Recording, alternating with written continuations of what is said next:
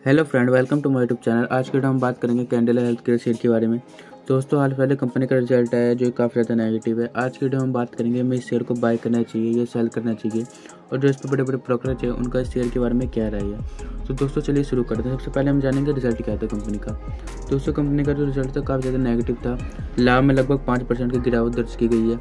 Revenue में भी काफ़ी ज़्यादा कमी आई है, और आई भी पिछले साल के मुकाबले काफ़ी ज़्यादा इस साल घटा है। दोस्तों बड़े बड़े ब्रोकर्स ने इस शेयर को बाय करने की सलाह दी है और जो इसका टारगेट प्राइस है वो 550 प्लस कर दिया है। ब्रोकरेज का कहने कंपनी अपने क्षेत्र में काफ़ी ज़्यादा अच्छा काम कर रही है और करती रहेगी। कंपनी की ग्रोथ भी काफ़ी ज़्यादा अच्छी है और प्लान्स भी कंपनी के काफ़ी ज़्यादा अच्छे हैं। और साथ साथ में अपने क्षेत्र में काफ़ी तेज़ी से विस्तार भी कर रही है और दोस्तों कंपनी फ्यूचर के लिए काफ़ी ज़्यादा इन्वेस्टमेंट भी कर रही है। जो आने वाले समय में कंपनी को बहुत ज़्यादा काम आएँगे, इससे कंपनी की आमदनी भी बढ़ेगी और इसका शेयर प्राइस भी काफ़ी तेज़ी से बढ़ेगा। अगर आपका वीडियो पसंद आए तो चैनल को लाइक करें और शेयर करना ना भूलें, चैनल को सब्सक्राइब ज़रूर कर दें।